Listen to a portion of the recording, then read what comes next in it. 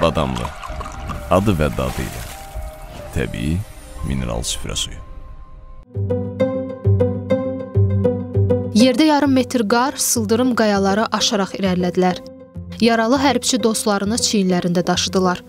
Məhz həmin igidlər torpaqlarımızı erməni işğalından azad etdilər.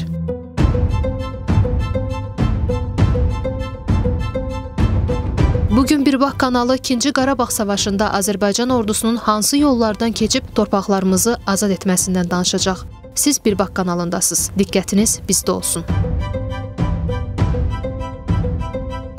Azərbaycanın Ermənistan tərəfindən işğal edilmiş torpaqlarını azad etmək uğrunda apardığı böyük vətən müharibəsi bir neçə səbəbdən dünya hərb tarixinə yazılıb. Bu səbəblərdən biri də döyüşlərdə ən müasir texnologiyalardan, xüsusilə dronlardan bacarıq və məharətlə istifadə olunmasıdır. Digər bir səbəb isə Azərbaycanın müharibədə tətbiq etdiyi hərbi taktikanın dəqiq və peşəkar hazırlanmasıdır. Məhz ordumuzun Şuşa şəhərini azad etmək üçün həyata keçirdiyi misilsiz əməliyyat dünya hərb tarixinə düşəcək əməliyyatlardan biri sayılır.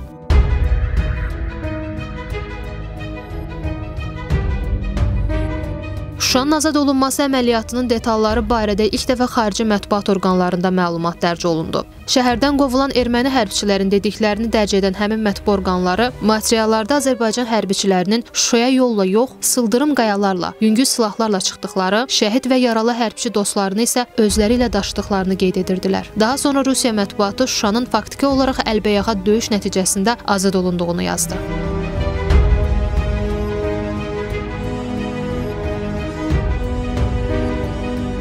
Sosial şəbəkələrdə isə Qazi Alik Məmmədovun Şuşanın necə alınması ilə bağlı paylaşımı diqqət çəkir. Orada deyilir: Şuşaya kanatla qalxdıq. Yarım metr qarda 14 saat kəşfiyyatdan sonra 400 nəfər odağı dırmaşmalı idi. Bıçaq tapanca ilə döyüşə gedirdik. 500 erməni dığasının biz daxil olan tərəfdə olduğu məlumatını əldə etmişdik. Onlar ən az sayda bu tərəfdə yerləşmişdilər. Başqa mövqelərində isə ağır artilleriya və canlı qüvvə sayı burdakından azı 3 dəfə çox idi. Çünki onlar bizim yollardan hücum etməyimizi güman edirdilər. Heç bir insanın ağlına gəlməyəcəyi sıldırımları dırmaşıb döyüşə artilleriyasız girəcəyimizi düşünmürdülər. Nəinki onların, heç kəsin ağlına gəlməzdi ki, biz bıçaqla Şuşanı almağı düşünürük.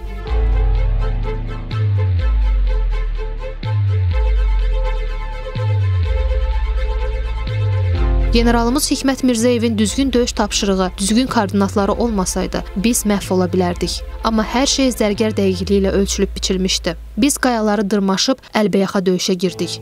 Dəqiq deyə bilməyəcəm. Təxmini desəm 40-a yaxın erməniyə bıçaq salıb çıxarmışam. Onların arasına düşən panika belə general tərəfindən hesablanmışdı. Panika yaranan kimi tapşırıq əsasında hərəmiz dəstə-dəstə əks istiqamətlərdə dağılışdıq. Ermənilər isə həmin an həyəcandan özlərinə atəş açdılar. Onlar hətta öz əskərlərinə belə inanmırdılar. Yaxınlaşan erməni ermənini vururdu. Çünki onların formasında belə biz ola bilərdik.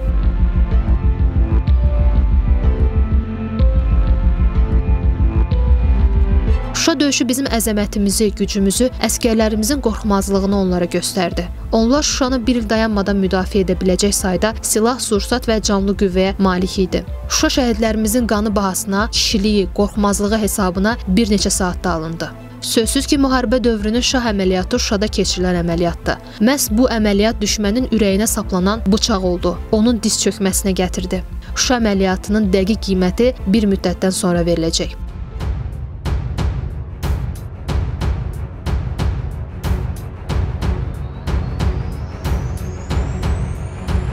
Şuşa döyüşünə qədər ordumuzun qələbələrini inkişaf etmiş texnologiyalardan, döyüş vasitələrindən istifadə ilə bağlayırdılarsa, bu şəhər uğrunda gedən döyüş hərbçilərimizin də yüksək döyüş qabiliyyətinə malik olduğunu ortaya qoydu. Ondan sonra heç kim iddia etmir ki, Azərbaycan döyüşlərdə dronlar hesabına qələbə qazandı. Şuşa elə bir yerdə idi ki, oranı 5-10 günlük hazırlıqla azad etmək mümkün değildi. Bunun üçün illərlə hazırlıq keçirməsi lazım idi. Şuşa əməliyyatının xarakteri elə idi ki, orada heç bir səhvə yol vermək olmazdı. Əməliyyat ən kiçik detallarına qədər, ən yüksək dəqiqliklə, dəqiq kəşfiyyat məlumatları əsasında və yüksək peşəkarlıqla hazırlanmalı idi və hazırlandı da.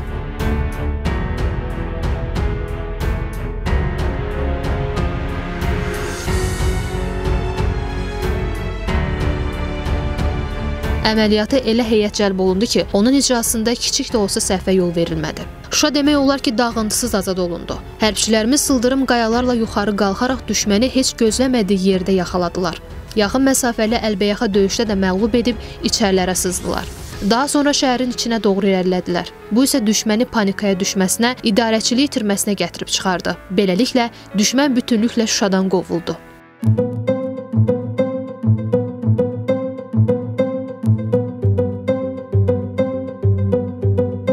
Ümumiyyətlə, Azərbaycanın Vətən müharibəsi müasir döyüş tarixində tamamilə yeni bir səhifənin əsasını qoydu. Əməliyyatların zirvəsində gələn Şuşa döyüşü isə vaxt gələcək kinolara çəkiləcək, ən müxtəlif səviyyələrdə araşdırılacaq, qında onlarla əsər yazılacaq.